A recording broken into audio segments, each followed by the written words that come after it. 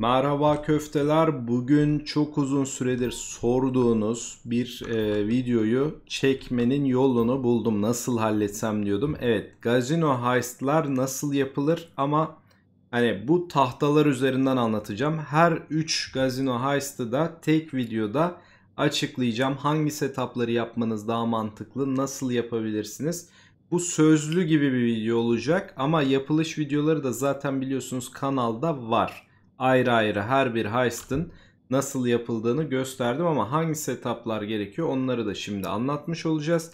Ayrıca bu setupların zor olanlarını da e, ileride tek tek çekmeye çalışacağım. Gazino Heist'ın benim hoşuma giden bir yanı şu. İstediğiniz yaklaşımı kendiniz seçebiliyorsunuz ve onun içinde de değişik seçenekler mevcut. Tabii ki ben size e, en karlı seçenekleri anlatacağım ama heist'lar gerçekten çok güzel. Yani Bitcoin'da mesela ister güvenlikçi gibi ister itfaiye gibi vesaire birçok seçenek mevcut. E, bunlar da size açıklayacaklarıma başlayalım. Şimdi ilk tahtanın özelliği şu. Daha çok e, gazinoyu keşfediyorsunuz. Zaten bu keşfi bir kere yaparsanız scope out gazino gözüküyor. Bakın şu kırmızıyla e, değişen yer. Bu bir kere yapsanız yetiyor. Her şeyi bulursanız yetiyor. Aslında her şeyi bulmanıza da gerek yok. Zaten bunun da e, çoğu kez fotoğraflarını çektiğim videoları koymuştum. Tekrar da gerekirse düzgünce anlatırım ama 3 e, heist içinde gerekli olan bakın şu side doors bu tünel agresif için giriş seçeneklerinden biri bu gerekiyor.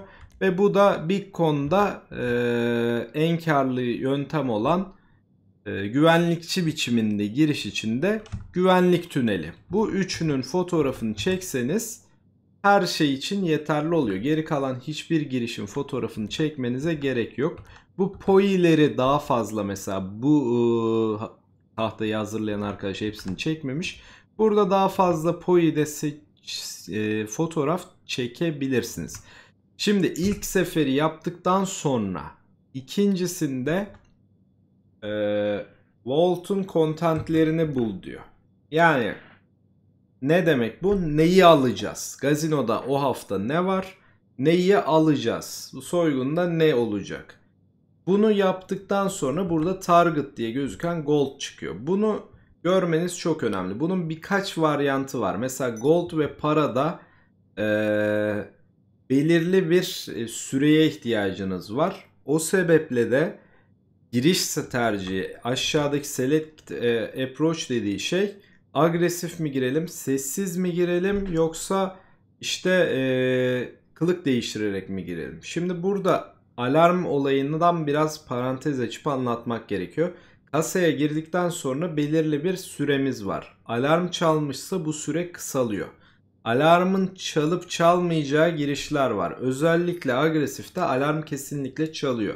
O nedenle ben agresifi ya 4 kişi yapacaksanız tavsiye ediyorum ya da e, resim gibi basit yani hani çalması nispeten toplaması kolay bir e, içerik varsa kasada agresif tercih edin. Yoksa alarmı hiç çaldırmadan yapmanız gerekiyor. Çünkü o süre içinde çıkmazsanız gaz geliyor sizi öldürebiliyor. Yani o süre e, kısıtlı bir süre.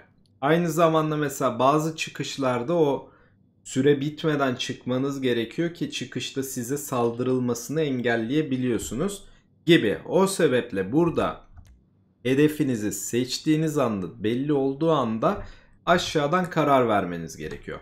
Gazino Heist arcade'i aldıktan sonra ilk 3 taneyi mecburen yapıyorsunuz. Daha sonra da e, bu 3 taneden hangisini en son yaptıysanız diğer ikisini tercih ediyorsunuz. Yani aslında ilk 3 seferden sonra sürekli olarak 2 tane arasında gidip gelebilirsiniz. Şimdi 3 seçeneği de buradan görüyoruz. Bu tahtada Sessiz metot. Zaten en çok sorulanlardan birisi bunlar gözüküyor. Diğer tahtada da bu e, metotla ilgili setuplar gözüküyor.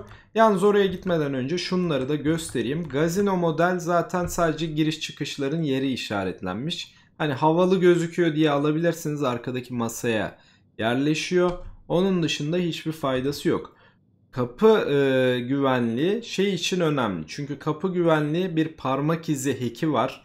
Kasanın içindeyken sizi çok yavaşlatan bir şey bu. Az önce anlattığım sebeplerden dolayı. Kasa güvenliğini halletmek için bunu alıp deneme yapabilirsiniz. Ama e, birkaç kere yaptıktan sonra ezberleyebiliyorsunuz. Alternatif olarak bu en az iki kişi yapıldığı için diğer kişi hack konusunda iyi ise sizin bunu alıp pratik yapmanıza da hiç gerek yok. Benim videolarımda ben mesela bir taneyi göstermelik yapmış oluyorum genelde ama diğerlerini köfteleri açtırıyorum. Niye? Onlar daha sık bu heist'i yaptığı için daha kolay yapıyorlar. Süre çok önemli o heist'larda. Özellikle 4 kişi girerseniz bir kişi kapıları açıyor, diğerleri topluyor falan filan. Onun dışında aşağıda da kapı açma antrenmanı var. Bunun bir önemi yok. Yani beceremiyorsanız hani burada bir göreyim yani burada takılıp kaldıysanız diye sıkıntı olabilir. Ben bunun videosunu çektim. Parmak iziyle birlikte bunun kısa bir tek videosu var. Sağa sola bir yerlere kartı koyacağım. En kötü zaten videonun sonunda veya açıklamasında o videonun linki olacaktır. Oradan izleyip yapabilirsiniz. Bunu da almanıza gerek yok. Yani e, tabii ki şey dekoratif olarak alabilirsiniz. Güzel gözüküyor. E, arcade'inizin altında iyi gözüküyor. Şimdi hazırlık tahtasına gidelim. Diğer iki heist'ta bu tahtayı biraz daha az anlatacağım bu arada. Burada hepsini tamamlamış olduk. Şimdi hazırlık tahtasında ilk önce silahçı, e, sürücü ve hacker'ınızı seçiyorsunuz. Hacker'ınız kasanın içinde kalabileceğiniz süreyi belirliyor. Alarm çalmamışsa mesela page 3 dakika gibi bir süre veriyor. Alarm çaldığında 1 dakika kısalıyor bu. Bunun dışında mesela hacker olarak kötü bir hacker seçtiğinizde bu süre alarmsız vaziyette 2.5'lara 2.30 saniyelere iniyor. Çok önemli saniyeler. Yani 15 saniye bile çok önemli. Hatta Page'in bir tık iyisi Avi Schwartzman var. Onu bulmak için free modda baya bir e, sinyal bozucu bozmanız gerekiyor. Onun ben videosunu fırsat bulursam çekeceğim. Ama yoksa Page'i almanız mantıklı. Page nasıl geliyor onu da hemen söyleyelim. Page e, Terabyte'ınız varsa geliyor. Bu önemli bir bilgi. Zaten bu Gazino Heist'in güzel taraflarından biri de o. Çok fazla değişik şeyden ufak tefek şeyler geliyor. Mesela e, penthouse'unuz varsa ve görevleri yaptıysanız gazinonun üstündeki görevler e, evi aldığınızda gelen görevleri bitirdiyseniz ufak bir info veriyor. Ha ihtiyacınız var mı? Benim anlatacağım en kısa yollar için bunlara ihtiyacınız yok. Şimdi burada setup ekranında yıldızlılar var. Bu yıldızlılar sizin kesinlikle yapmanız gereken şeyler. İşte mesela burada sürücü ve e, silahçının görevleri var. Bu görevleri yapmanız gerekiyor. Bu arada onlardan bahsetmedik. Sürücü ve silahçıyı tamamen en az para isteyen. Burada mesela köşelerde gözüküyor 5 ve 5 seçilmiş. E, az seçilmiş. Hacker daha fazla istiyor. 9 istiyor Page. Avi Schwartzman da 10 istiyordur. Ona verilen para değiyor ama bunları daha iyi seçmenizin hiçbir mantığı yok. Çünkü paranızı e, boşa vermiş gibi oluyorsunuz. Özellikle arabada zaten tünele gidip herhangi bir arabayla yıldızların geçmesini bekleseniz yetiyor. Bu sizin kaçmak için kullanacağınız arabayı bulan kişi. Yani bana göre havadan para kazanıyor. Hiçbir işe yaramıyor. Silahlar bu adam size takip edilemez silahlar buluyor. Bu birazcık daha mantıklı.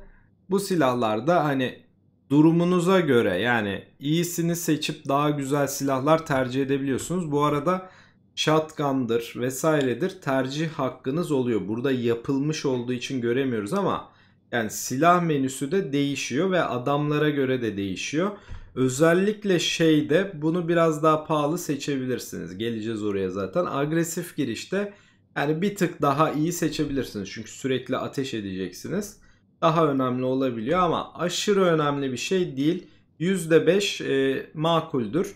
Şimdi bu yıldızları yaptığınız zaman hack e, cihazını vesaireyi aldıktan sonra e, aşağıda genel prep work diye bir şey var. Bu her birin heist türünde gözüküyor. Yani diğerlerinde de gözüküyor bunlar. Ama hangilerinde almanız mantıklı hangilerinde değil. Özellikle bu zaten zorunlu. Yıldızlı olduğu için zorunlu. Bu kapılara okuttuğunuz kartlar. Sonra burada Patrol Routes diyor. Bu kesinlikle sessiz. Şu anda Stealth'in tahtasındayız. Kesinlikle alınmalı. Neden diyeceksiniz?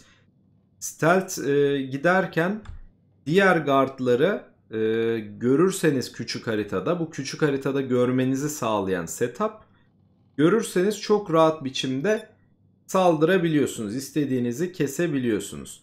Daha sonra Dagon Shipments var. Bakın bunu almadan yapanlar var. Bunu almadığınızda e, gazinoyu koruyan guardlar çok zırhlı oluyor. Şimdi sessiz moddayken susturuculu bir tabancanız var. O da kasklı birine tek atamıyor. Tek atamazsanız ne oluyor? Adam ateş ediyor, işte bağırıyor vesaire, alarm çalıyor. Alarm çalınca ne oluyor? Kasada sıkıntı çekiyorsunuz vesaire vesaire. O yüzden e, Dagon Shipments'i yapmanız sizin için çok faydalıdır. Özellikle sessiz versiyonda bayağı iyi oluyor. Bunu agresifte de yaptığınızda adamlar daha zayıf oluyor. Yine faydanız o oluyor. O sebeple e, buradaki şeyi e, kesinlikle yapın. Sadece bir konuda yapmasanız olur ama bence orada bile işler ters giderse işinize yarar. Bu görevi biraz hani zor yapmışlar. Yani bir uçakla, uçan motorla veya işte Strike Force gibi e, agresif bir uçakla, Buzzard'la e, kolaylıkla yapabiliyorsunuz. İki kişiyseniz de iki kişi yani 5-10 dakikanızı veriyorsunuz ama işleri çok rahatlatıyor. Tavsiye ederim bunu kesin yapın. Opsiyonel bakın yıldız yok ama yapmanızda fayda var. Bu bahsettiğim e, eğer gazino şeyine sahipseniz açılan bir şey. E, bu da matkaplar. Matkaplar mesela e, şey çalıyorsunuzdur. Resim çalıyorsunuzdur. Boş zamanınız kalacaktır. Matkapları alırsınız ve matkaplarla gidip e, yandaki ufak kasaları da açarak hani kazancınızı bir tık daha arttırabilirsiniz. Bu mantıklı. Bunu kesinlikle bu şekilde bakın şu anda gördüğünüz iki resim var burada. Tek resim yapmayın. İki resim yapın çünkü sürekli olarak şey yapmanız gerekiyor burada. Ee, hack yapmanız gerekiyor. Çok yorucu oluyor. Yani bunun çiftli halini yaparsanız birçok kapıyı rahatlıkla geçebiliyorsunuz. Daha az hack yapmanız gerekiyor. Kasa içinde gene yapmanız gerekecek. Bunun dışında yine e, giriş çıkış kıyafeti var. Bunu almanız faydanıza çünkü e, gece görüşü açmanızı sağlıyor bu. Bunu almadan da yapabilirsiniz. Onun dışında yine e, EMP device sessiz olan versiyon için yapmasanız oluyor ama yaparsanız çok rahatlıyorsunuz. Özellikle ben videosunda da göstermiş olacağım sessiz yapılanın e, paraları aldıktan sonra yukarı çıktığınızda sizi arıyorlar tamam mı? O sırada bu EMP'yi basıp kapıya doğru koşarsanız şurada gösterdiğim şu kapı merdivenin çok yakınında. Hemen hızlıca koştuğunuzda çok sorunsuz biçimde bu heist'i bitirebiliyorsunuz. Dışarı çıkabiliyorsunuz. Tavsiye ederim EMP'yi almadan da halledenler var. Yani kendinize güveniyorsanız almayabilirsiniz ama gerekli. Bunlar zaten yıldızlı almanız gereken şeyler. Kapı açmak için işte e, bu nano drone çok işime yaramadı. Hani etrafı gözlemek için diyorlar ama pek de tavsiye etmiyorum. Maskeler kozmetik isterseniz alabiliyorsunuz. Almanız gerekmiyor. Buradan sonra da direkt olarak e, bakın seçili oluyor. Giriş çıkışınızı burada seçiyorsunuz. Burada şu an daha seçilmemiş. Çünkü setup başlamadı. Seçilince ana kapı değil şey kapısından işte servis kapısından satışta da e, düşük seviye değil yüksek seviyeli birine satıp kazancınızı arttıracaksınız. Diğer temiz e, araç ve dikoyu almasanız da olur. Şimdi diğer e, setup'ın diğer heist'ın da setup'larını inceleyeceğiz. Evet şimdi de başka bir köftenin e, arcade'indeyiz. Bu sefer de Bitcoin heist'i için göstereceğiz. Bakın burada e, setupları yapınca görebiliyorsunuz. Burada mesela başka bir kılıkta girerseniz o kılığın kamyonu veya işte böcek arabası vesaire gözüküyor ama en e, temiz özellikle Bitcoin'dan biraz bahsedeceğim zaten. En temiz biçimde e, bütün parayı hiç kayıpsız neredeyse hiç kayıpsız alabileceğiniz yöntem Bitcoin'istı. O yüzden mesela az önceki ilk tahtamıza geldiğimizde burada Bitcoin için gerekli grup içinde giriş kapısı security tunnel oluyor. Şimdi e, güvenlik aracıyla gireceğiz. Çıkışta da site door'dan çıkacağız. Mantık bu. Ama Bitcoin'u ne zaman seçmeli? Burada güzel bir ödül varsa Bitcoin'u seçin ki. Çünkü mesela şimdi Bitcoin'u atıyorum resim için seçersek e, bir sonrakinde mecburen zaten ya agresif ya da stealth yapacağız ki ben stealth'i birazcık daha e, yorucu, stresli bulduğum için yani e, gizli girmek yerine agresifi tercih ediyorum. O yüzden kötü bir şey çıkarsa agresif, iyi bir şey çıkarsa da grup P şeklinde devam ediyorum. Bakın bir önceki tahtada yoktu. Poi'leri de burada görebiliyorsunuz hepsinin listesini. Ayrıca bu e, arcade'de değişik şeyler var. Ben bunları zaten videosunu çektim. Bakın burada e, parmak izinin antrenmanını yapabileceğiniz veya matkabın antrenmanını yapabileceğiniz videoyu da çektim. Ayrıca koydum. Zaten bahsetmiştim az önce. Şimdi devam ediyoruz. Stealth için başka neler gerek? Asıl önemli olanlar setuplar. Diğer tarafla çok uğraşmayalım. Şimdi setuplarda yine eee herhangi bir e, silahçıyı seçebiliriz. Çünkü silahımızı sadece susturuculu tabanca olarak kullanıyoruz. Sürücünün yine hiç önemi yok. O yüzden %5 %5. Hacker'ımız çok önemli. Hacker'ımızı Page veya Avi varsa Avi yoksa Page olarak tercih ediyoruz. Bu her seferinde böyle yapılabilir. Burada şimdi giriş için ne yapacağımızı tercih ediyor. Şimdi bakın burada giriş şeklimize yönelik e, hazırlıklar var. Ya diyor bunu yapacaksın diyor. Buradan hangisini tercih edeceksek bakın e, işte ilaçlamacı olabiliyoruz, temizlikçi olabiliyoruz veya işte güvenlikçi olabiliyoruz. Güvenlikçi olduğunuz zaman kasaya kadar siz hiçbir sıkıntı çekmeden ulaşıyorsunuz. Gizlilik yapmanız gerekmiyor. Mesela bunlarda belli bir noktadan sonra artık iş yine e, stealth gibi oluyor. Yani stealth yaklaşımındaki gibi, gizli yaklaşım gibi hareketler yapmanız gerekiyor. Ama bunda üstünüzdeki silahlarla güvenlikçi olduğunuz için rahatlıkla gidebiliyorsunuz. O yüzden en iyisi bu. Burada küçük bir not da vereyim. Arcade videolarımda da anlatmıştım. Burada kullandığınız o kamyonet az önce göstermemin sebebi de oydu. Çok yavaş olduğu için gazinoya çok uzak bir arcade alırsanız e, bu e, heist'ta bayağı zorlanmaya başlarsınız. Çünkü en karlı heist bu ama o kamyonla o yolu gitmek çok uzun sürüyor söyleyeyim. Onun dışında e, bu yöntemde kapıyı matkapla açıyorsunuz. O antrenman matkabıyla o yüzden yıldızlı gördüğünüz gibi çıkış için isterseniz size bunlardan birini alma şansı veriyor. Özellikle SWAT olarak çıkarsanız e, bayağı uzun bir süre ateş edilmiyor size ve kazancınız e, yani kazançtan kaybınız çok çok az oluyor. O yüzden bunu almanızda fayda var. Buradaki diğerleri bu mesela üst katta oturan işte ünlü gibi bir adam var biraz değişik. Yani bunu yapsanız bile çok işe yaramıyor. O yüzden bu heist'i ben yani on, ne işe yaradığını tam çözemedim bile. Setup'ı bir kere yaptım. Bunu kesinlikle yapmayın diyorum. Şu an için öyle. Bunun dışında mesela e, yine gösterdiğimiz gibi bunu mecburi yapıyorsunuz. E, patrol rutu yine yapmanızda fayda var. Çünkü çıkarken bir tane adam var. Yani aslında 3 tane var. O 3 tanenin e, karşısına çıkmadan kıyafeti giyene kadar Yine ufak bir stealth'li durum var. Ama yani çok fazla değil. Yani bunu birkaç kere yaptıysanız artık yapmayı bırakabilirsiniz. Ama bence yine de yapın. Çünkü o e, mini haritada görmek bayağı işe yarıyor. Sorun çıkmasını engelliyor. Onun dışında Dagon Shipments'i Bu heist'ta en az önemli olduğu heist tipi bu. Yani çünkü kapışmaya mümkün olduğunca girmediğimiz için bunu yapmasanız da kurtarıyor. Gayet mümkün. Ama ben dediğim gibi yani benim şahsi fikrim bu. Hepsinde ben bunu yaparım. En azından dediğim gibi e, kapışmam mı gerekiyor? Tak tak indirirsin. Yani ben böyle düşünüyorum. O tercih sizin. Burada e, Gazino'nun Penthouse görevlerini yaptığı için Intel'i almış arkadaşımız. Kullanabiliyorsunuz bu Intel'i de. Çok aman aman bir şey fark ettirmiyor. Ben de tam olarak bilmiyorum. Kendi gazino görevlerimi yapmadığım için.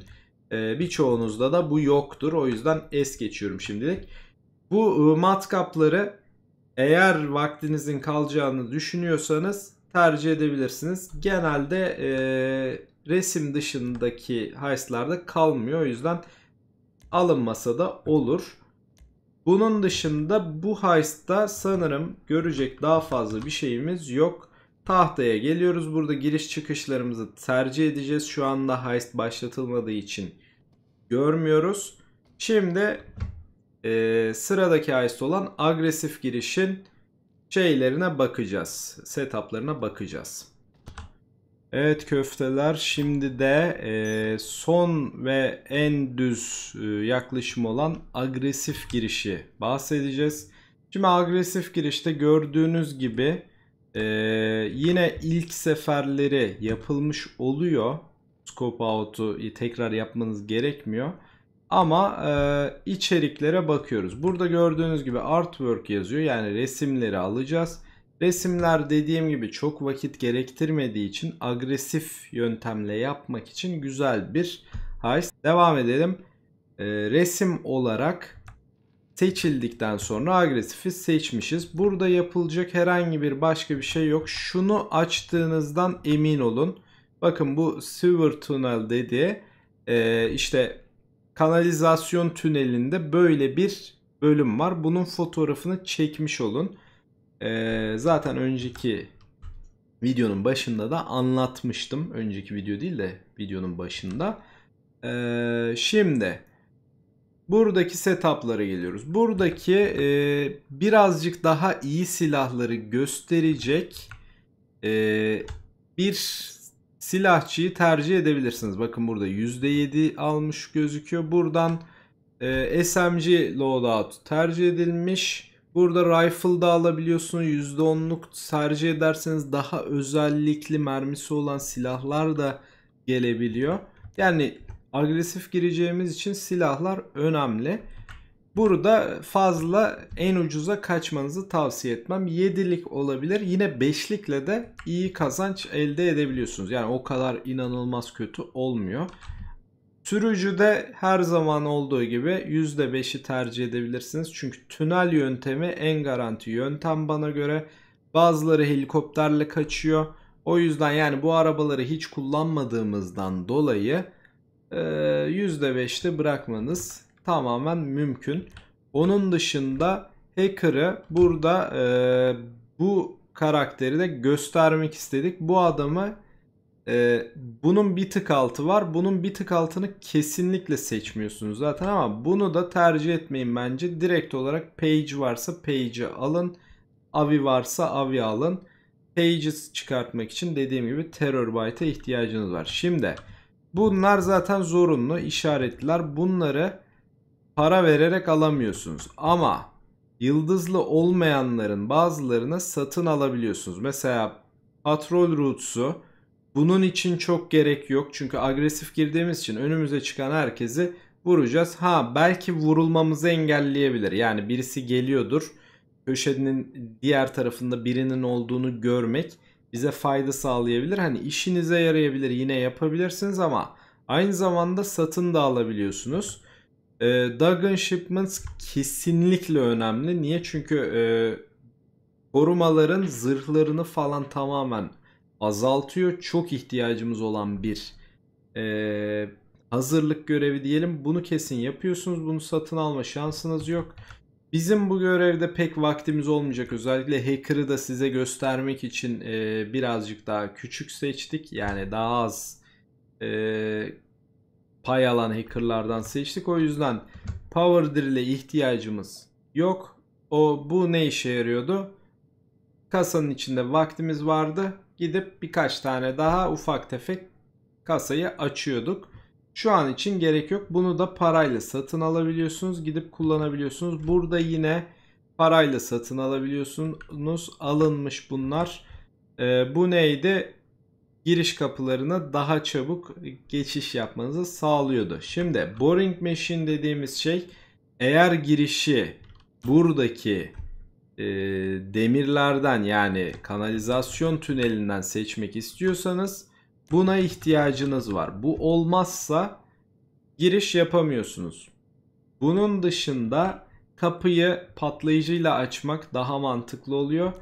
Aynı zamanda da e, breaching charge'ları yaparsanız hack yerine içerideki kasalarında bir kısmını bununla patlatabiliyorsunuz. Bunlar zaten zorunlu. Yani hani ya yapmanız gereken bir şey. Hack fazla size hackle bulaştırmıyor. Bir tane falan oluyor galiba. Bir veya iki tane hack e, durumu yaşayabiliyorsunuz ama çoğunluğunu ufak tefek patlayıcılarla hallediyorsunuz kapıları. Bu açıdan da güzel bir yöntem. Onun dışında bu opsiyonel gözükse de kapıştığınız için daha iyi bir zırhla giriyorsunuz içeri. Bu Leicester Ice'larında benim gösterdiğim tarzda bir e, kıyafet. Yani sizin yelek sayınızı etkilemiyor. Sadece mesela bir kurşun yediğinizde 10 canınız gidecekse 7 canınız gidiyor. Onun gibi düşünün. Yani giydiğiniz her yelekte de etkisi olan bir şey. Daha zor ölmenizi sağlıyor. Pratikte level'ınız fazlaymış gibi davranmış oluyorsunuz. Bununla birlikte de e, genel olarak heist'lar hakkında bilgileri sonlandırmış oluyoruz. Bu arada security intel'in ne olduğunu da öğrenmiş oldum az önceye göre. E, giriş yaparken e, özellikle sessiz girişlerde yapabildiğiniz bir tuşa basıyorsunuz. Koridorda merdivenin hemen yanında bir kasa açılıyor. Zaten videolarda görmüş olabilirsiniz. E, heist yapılış videolarında. Buralarda o e, kasanın bilgisini veriyor. Yani bunu siz yine yapabiliyorsunuz. Burada alınmış olmasa da yapabiliyorsunuz. Bu hani ufak bir detay. Oraya gidip o tuşa basarsanız kasa açılıyor. Sizin bir arkadaşınız da gidip onları alıyor. Sizin o tuşa basılı tutmanız gerekiyor. Onun hakkında bir bilgi bu. Çok da önemli bir şey değil. Buradan da finale gidiyoruz. Ee, şimdi ben tabi bu video çok uzun oldu. Ee, o sebeple yapılışları göstermeyeceğim. Setup'ları ayrı ayrı önemli setup'ları özellikle siz yorumlara da yazabilirsiniz abi şu setup'ta zorlanıyorum işte FBI setup'ında zorlanıyorum. Ben onlara yönelik videolar atmaya çalışacağım. Zaten kanalda hali hazırda hem yayınlarda oynadığım için gazinoyu hem de şeyde e, agresif giriş ve işte e, şeyli giriş hmm, güvenlik aracıyla Bitcoin girişi olmuş olması lazım. Stealth'i de çekeceğim. Bu videonun içine yapılış videosu çekmiyorum. Bu video burada bitiyor. Bu videoyu çekmek benim için bayağıdır planlıyordum. Nasıl yapacağımı bilmiyordum. Buradaki arkadaşlarımıza da teşekkür ediyorum. Kendileri sağ olsun ayrı ayrı 3 adet Heist'ın setuplarını bitirdi. Ben onların tahtalarını kullandım. Hatta e, bazılarının işte şeylerinden de ayrı bir ufak videoda çıkarttım. Bu e, makineleri işte hacklerin antrenmanları vesaire için ekipmanları yani genel olarak Gazino Heist hakkında bilmeniz gereken her şeyi bu videoda açıklamaya çalıştım. Hangi setup ne işe yarar, hangi heist'ta hangi setup önemlidir gibi gibi. Zaten ustalaştıkça bunların bazılarını almayı bırakabilirsiniz. Çünkü mesela e, güvenliklerin nerede olacağını falan çok yaptıkça öğreniyorsunuz. Özellikle bu Gazino Heist'ı e, güzel para getirdiği için sürekli tekrar tekrar yapmakta insanlar. Bunun dışında e, Discord kanalımıza bekliyorum. E, Rastgele Reis olarak hem Rastgele Reis.com'u açtım hem de orada bütün linkler mevcut. Yani sadece linkler için bir site o. Discord'un linki nerede falan diye çok soru geliyordu. Onun dışında Twitch linkleri, Twitch'te de rastgele reis olarak bulunuyorum. Instagram'da da rastgele reis olarak bulunuyorum. Bu şekilde videolara gelmeye, yardımcı olma, yayınlara daha çabuk gelme. Çünkü GTA'daki arkadaş listemde olduğu için işte YouTube katıldaki veya e, Twitch abonelerini arkadaş listeme ekliyorum. Görüyorsunuz zaten hani e, köftelerle yarış keyfi veya işte ne bileyim heistlar vesaireler yaptığımız için sizi de e, bekliyorum. Yani e, kanala destek olarak bu ayrıcalıklardan da faydalanma şansınız mevcut. Bol kazançlı heistlar diliyorum. Görüşmek üzere. Kendinize dikkat edin.